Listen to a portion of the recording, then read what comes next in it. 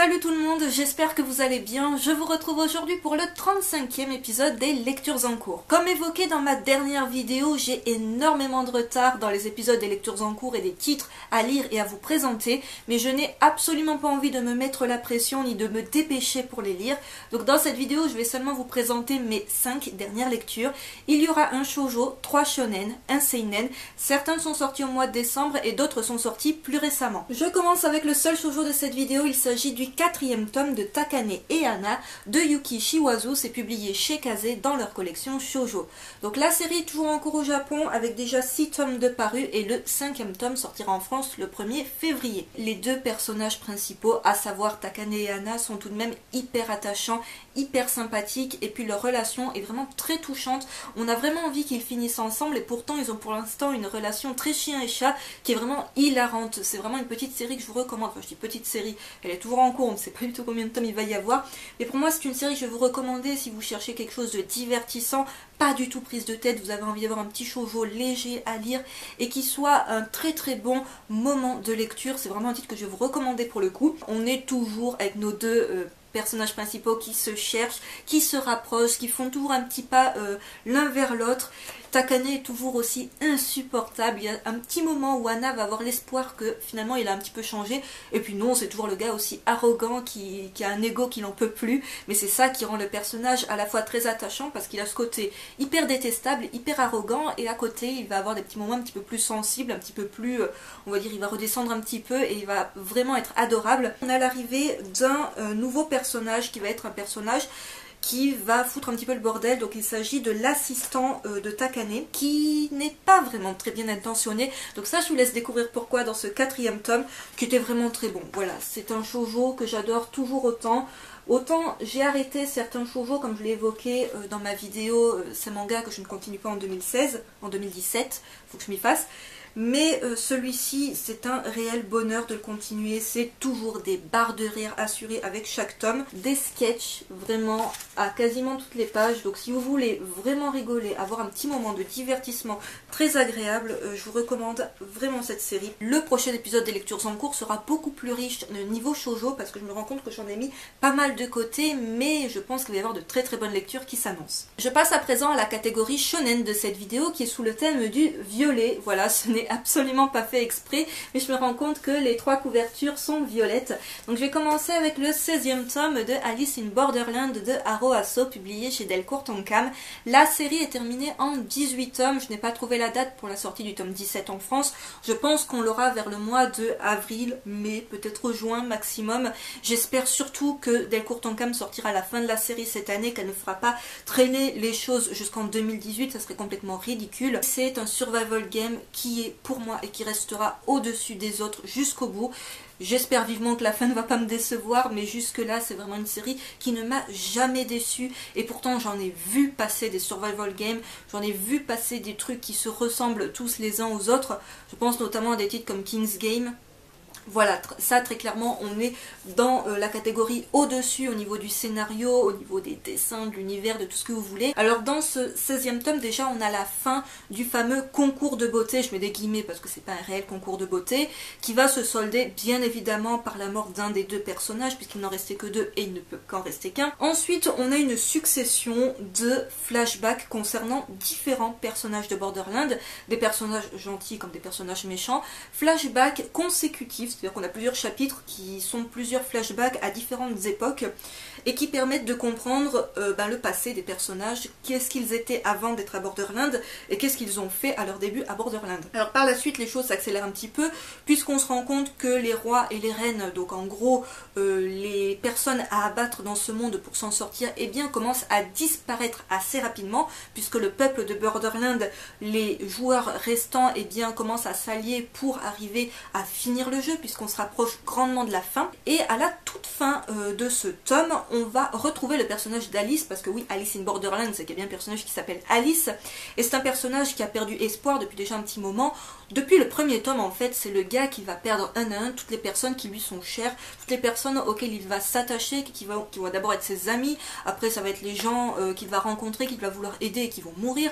Donc bref, le gars se retrouve dans une situation où il va euh, repenser à tout ce qui s'est passé finalement pendant les 16, enfin les 15 premiers tomes de la série. Il n'a plus envie de se battre, ça fait déjà un petit moment, il décide de se laisser mourir et tant pis, mais il a quand même un objectif, c'est qu'il a euh, rencontré ben, une fille dont il est amoureux et il a envie euh, justement d'aller l'aider. Et c'est là qu'il va tomber sur l'un de ses plus anciens ennemis, c'est-à-dire que le gars, ça fait un petit moment qu'on pense qu'il a passé l'arme à gauche, il n'a toujours pas décidé de passer l'arme à gauche, peut-être dans le tome suivant, ça on, découvrira par la suite, et il va également être confronté au gagnant du, du concours de beauté, et les trois vont se lancer dans un battle royal. C'est très clairement dit, c'est très clairement annoncé comme un battle royal, et j'ai trop trop hâte, parce que ça se termine là-dessus, j'ai trop trop hâte de voir le tome 17, et ce que j'ai adoré dans ce tome 16, c'est qu'il n'y a pas de coupure à la fin. C'est-à-dire que je me plaignais souvent de Alice in Borderland dans le sens où l'histoire est hyper prenante, il se passe plein de choses, il y a des jeux qui sont assez intelligemment pensés et tout,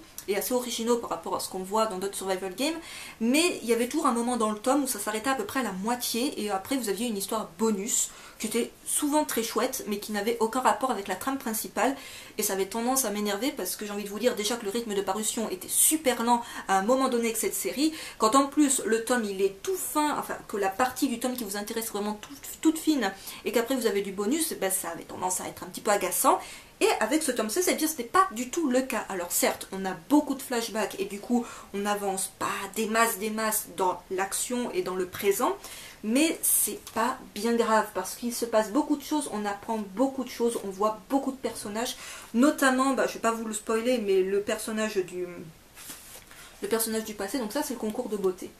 Voilà, qui est en fait un, concours de, nerfs. Hein. C'est à celui qui va craquer le premier, plus ou moins. Donc je vous montre encore un peu les dessins parce que cette série est géniale. Je la couverture. Je sais pas si on verra bien.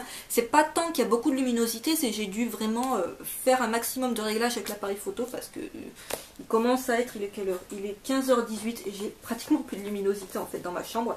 Donc voilà, c'est un excellent survival game. On comprend dans ce 16e tome qu'il y a un méchant ultime qui va être à abattre, qui est au-dessus des rois et des reines. Donc voilà, c'est un personnage, on ne sait pas encore de qui il s'agit, on connaît juste son pseudonyme et j'ai hâte de découvrir de qui il s'agit. Donc un survival game qui envoie du pâté que je vous recommande à 2000% si jamais ben, vous l'avez souvent vu mais vous hésitez à le commencer ou vous attendiez d'avoir un avis n'hésitez plus. Euh, franchement on en est à 16 tomes sur 18 et il n'y aura aucun tome jusque là qui m'aura déçu. Je passe à une lecture qui pourrait paraître beaucoup plus légère et pourtant il s'agit du 15e tome d'Assassination Classroom de Yosei Matsui publié chez Kana la série est terminée en 21 tomes et le 16e tome sortira en France le 7 avril. Alors Assassination Classroom est une série avec laquelle j'ai eu un petit peu de mal dans la première dizaine de tomes, je pense comme beaucoup de gens qui ont arrêté de lire la série à ce moment-là. Tout simplement parce que la première dizaine de tomes, on est sur un registre très clairement de la comédie et de tomes qui sont assez répétitifs. Et on a l'impression qu'on n'en voit surtout jamais le bout, que la série pourrait rester, euh, pourrait continuer indéfiniment sur le même registre. Au fil des tomes, euh, vraiment, je pense, je crois que c'est à partir du tome 11 ou 12, quelque chose comme ça, ça prend une tournure un petit peu plus dramatique, un petit peu plus sombre, et c'est vraiment euh, quelque chose qui je trouve super intéressant. Dans ce 15e tome, on va en apprendre beaucoup, mais quand je dis beaucoup, c'est genre on apprend toute l'origine en fait du personnage de dont j'ai déjà oublié le nom, le directeur de, l'école, je ne sais plus comment il s'appelle, mais bon, vous voyez le proviseur, en gros, genre le gros méchant. C'est un gars qui est détestable, qui est manipulateur, qui est sans pitié avec son propre fils, donc il faut voir ce qu'il fait aux autres élèves. Ce personnage-là n'était pas comme ça à l'origine, et dans ce 15e tome, eh bien, on comprend comment il en est devenu à être aussi méchant, à être aussi sans pitié avec les gens. Et à la base, c'était un mec qui était vraiment tout autre, qui était méconnaissable. Mais quand on comprend tout ce qu'il a enduré et qu'est-ce qu'il a vécu de vraiment assez dramatique, on comprend que le personnage a pris un virage dans sa vie qui est vraiment radical. Par la suite, on a une révélation de fifou à propos euh, de l'un euh, des élèves de la classe E qui était un élève qui pouvait paraître euh, complètement euh, limite invisible, qui se fondait très bien euh, dans la masse des autres élèves. Et finalement, c'est un élève qui était vraiment bouffé par la haine et par la par l'envie de vengeance et qui va essayer de, se, de tuer Kolo Sensei, bon ça c'est en même temps le but de tout le monde, mais qui va employer des techniques vraiment très très hardcore. Donc ça, je vous laisse découvrir de qui il s'agit. Mais personnellement, euh, c'est pas un truc que je voyais venir gros comme une maison. Mais alors, genre pas du tout. Et à la fin de ce tome, on a Kolo Sensei qui s'apprête à nous raconter qui il est réellement, qui il était avant d'être euh, le poulpe qui va euh, détruire le monde. Tout simplement. Donc vraiment un tome que j'ai adoré parce qu'il se passe beaucoup de choses, parce qu'il y a beaucoup de révélations, parce qu'il y a des révélations auxquelles on ne s'attend pas du tout. Enfin, me concernant, je m'attendais vraiment pas à ça. Et concernant la véritable identité de Kolo Sensei qui est révélée à la fin de ce tome, je me doutais que l'hypothèse première du manga euh, concernant ce personnage-là n'était pas foncièrement euh, la meilleure et la vraie, euh, la vraie identité, je sais pas si vous me suivez, mais je ne pensais pas du tout qu'on était sur ce personnage-là. Voilà, pour moi c'était une, surprise. J'essaie de pas vous spoiler parce qu'il y aurait pas mal de choses à vous spoiler dans ce tome et ça serait idiot. Je vous montre un petit peu les dessins qui sont, qui sont franchement top. Donc j'ai beaucoup aimé, vous l'aurez compris, ce ce 15e tome et c'est une série que je vous recommande si vous l'avez laissé tomber parce que vous trouviez que c'était trop répétitif, que ça apportait rien de nouveau, euh, qu'on n'en voyait pas la fin, que, que voilà. Vraiment, euh, je trouve que la série, depuis déjà quelques tomes, est d'un très très bon niveau. Je vous montre une dernière petite image. Vraiment un très bon shonen, il y a un petit peu d'humour, on continue à avoir un tout petit peu d'humour, mais on est vraiment sur quelque chose qui devient très prenant et super intéressant. Je passe à présent au dernier shonen de cette vidéo, mais quel shonen? Il s'agit du quatrième tome de Bestiarius de Masasumi Kakizaki, c'est publié chez Kaze dans leur collection Shonen Up, et avec ce quatrième tome nous avons rattrapé la parution japonaise, je n'ai pas trouvé la date pour la sortie du tome 5 au Japon, après il faut savoir que le rythme de parution est très très très très très long avec cette série, donc il va falloir attendre un petit peu. J'avais un petit peu, je dirais pas du mal avec cette série, parce que pour moi, euh, Masasumi Kakizaki, c'est juste un auteur de fifou. Je vous ai déjà présenté au tout début de ma chaîne euh, l'une de ses précédentes séries, donc Green Blood, qui, euh, qui moi vraiment m'aura marqué comme seinen, un petit seinen genre western en 5 tomes hyper violent, mais complètement génial. J'ai par la suite découvert la série Rainbow, qui est en fait la première série de l'auteur, qui est avant Green Blood.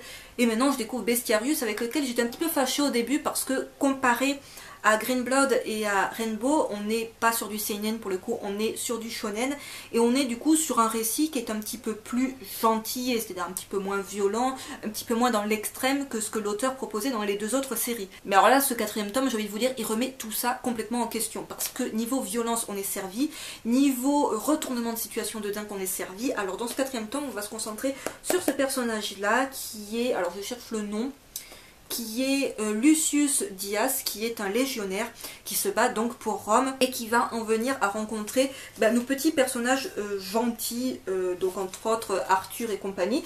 Et en fait, ces personnages-là ont pas mal évolué. Je vous montre bien les dessins parce que les planches de ce mec, c'est un truc de fou. Et en fait, il va être confronté à ce groupe de personnages qui avaient décidé de vivre en paix, qui vivent, voilà, vivent dans leur petit village. Alors en plus, bon, l'histoire a semble-t-il bien évolué puisque Arthur va devenir papa. Le récit commence sur une guerre de, euh, des Romains contre euh, les non-humains en fait tout simplement. C'est complètement général c'est que César veut anéantir tout ce qui est non-humain. Et apparemment on est dans un monde où il y a beaucoup de fantaisie de créatures style gobelins et compagnie et qui sont euh, qui ne sont donc pas humains. J'espère qu'on verra bien les dessins parce que franchement je pourrais vous montrer toutes les planches mais je vais de vous spoiler du truc. Ce légionnaire, il va très vite déchanter parce que déjà, c'est pas un type foncièrement mauvais, même si, voilà, il est, conditionné par Rome pour se battre pour, pour Rome, pour César, tout ça, pour la gloire de Rome. Il se rend pas compte que euh, l'envahisseur, en fait, c'est pas euh, le peuple des non-humains ou des petits villageois tranquilles. L'envahisseur, c'est clairement ben, les Romains qui partent en vadrouille et qui voient un village et qui disent on va raser le village. Petit à petit, sa vision des choses va changer. Elle va changer malheureusement un petit peu tard dans le récit puisque on va perdre l'un des personnages principaux. Et j'étais genre choquée parce que dans les autres séries de l'auteur, ok, c'est le genre de mangaka qui n'hésite pas à flinguer ses personnages principaux à tout va. C'est pas grave, la série elle prend tant de tomes et je vais flinguer les gens un par un. J'étais choquée de la mort de l'un des personnages principaux. Je pensais que c'était le genre de personnage qui allait, euh, enfin, le genre de personnage où vous pouvez le transpercer de toutes parts il craint dégain, il revient le tome d'après comme si de rien n'était. Et là, malheureusement, bah, ce n'est pas le cas. Donc on va perdre un personnage vraiment important à l'histoire dans ce tome. Et j'ai trouvé ça très émouvant parce que les autres personnages autour vont réagir avec beaucoup de, je dirais pas de détachement, mais euh, d'humanité finalement, reconnaître les valeurs humaines de ce personnage, les valeurs simples de ce personnage qui a disparu. Et je trouvais ça vraiment très triste. Et donc ce, je vais dire ce centurion, ce légionnaire, je sais plus comment on appelle ça, on va appeler ça un légionnaire romain, va devoir euh, régler ses comptes avec Rome. Alors, de manière pacifiste, lui, il est encore assez naïveté, bisounoursland, alors qu'on est dans un monde sans pitié. Euh, il a beau lui avoir sauvé la vie à lui, à ce monsieur-là, et eh bien ce monsieur-là va, va pas vraiment lui faire de cadeau. Je voulais juste vous montrer la Wyvern. Wyvern, je sais toujours pas si ça se prononce comme ça. Euh, en plus, Masasumi Kakizaki s'explique à la fin du tome en disant qu'il ne sait pas trop euh, dessiner les, les bêtes, alors que, bon, hein, voilà pour un gars qui sait pas dessiner les euh, personnages fantastiques. Je trouve que le gars s'en sort assez bien quand même. J'étais très sceptique hein, sur les deux premiers tomes. troisième tome, je crois que déjà ça allait mieux. Les deux premiers tomes, j'étais très sceptique et un petit peu déçu parce que je m'attendais à un truc plus violent, plus hardcore. Là, je suis clairement servi avec ce quatrième tome. Et vraiment, c'est un auteur que je vous recommande de découvrir, que ce soit avec cette série, avec Green Blood, terminé en 5 tomes, ou avec Rainbow qui est en cours de réédition. Là, on en est... J'ai mis où mes tomes? Je sais pas où j'ai mis les tomes, j'ai dû les mettre. Non, ils sont là.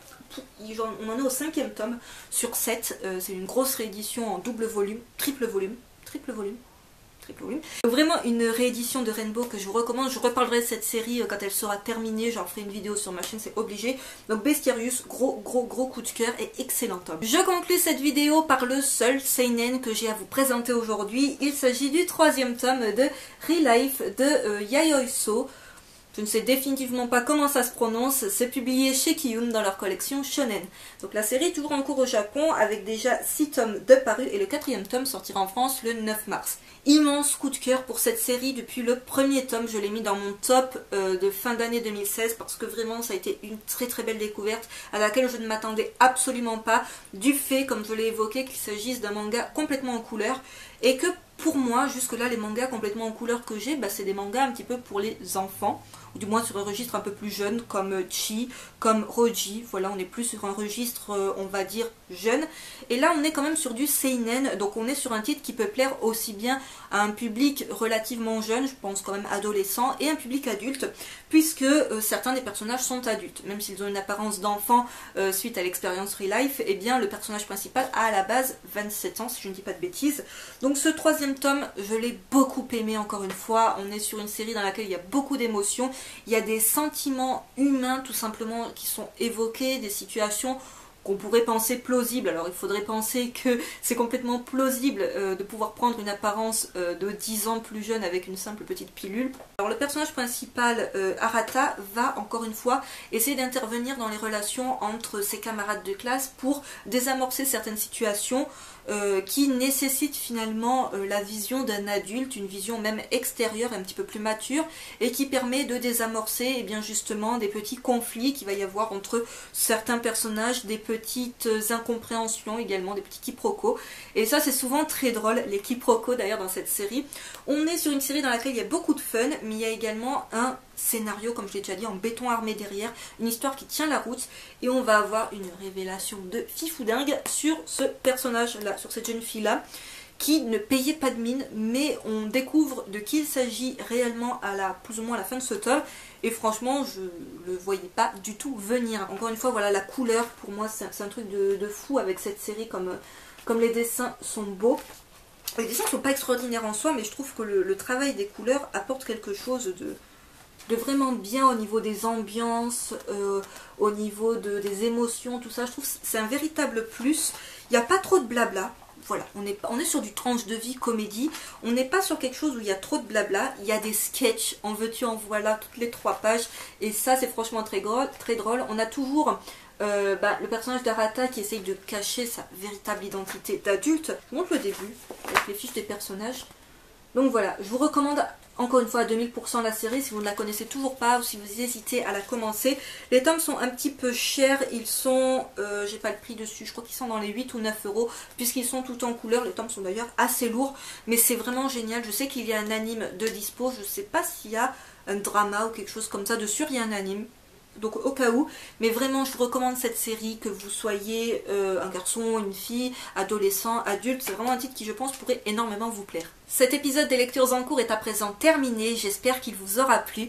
N'hésitez pas à me dire en commentaire si vous avez lu certains des titres que j'ai présentés dans cette vidéo, votre avis à leur sujet. N'hésitez pas non plus à me dire si parmi tous les titres que je vous ai présentés dans cette vidéo, certains vous donnent envie. Et dites-moi aussi ce que vous, vous avez lu dernièrement. Sur ce, je vous retrouve très vite pour une prochaine vidéo. Bye